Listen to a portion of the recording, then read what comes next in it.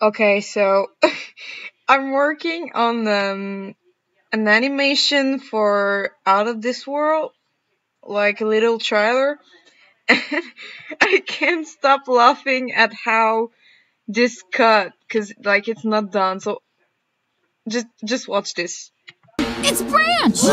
No, it's not. That's a human. Duh.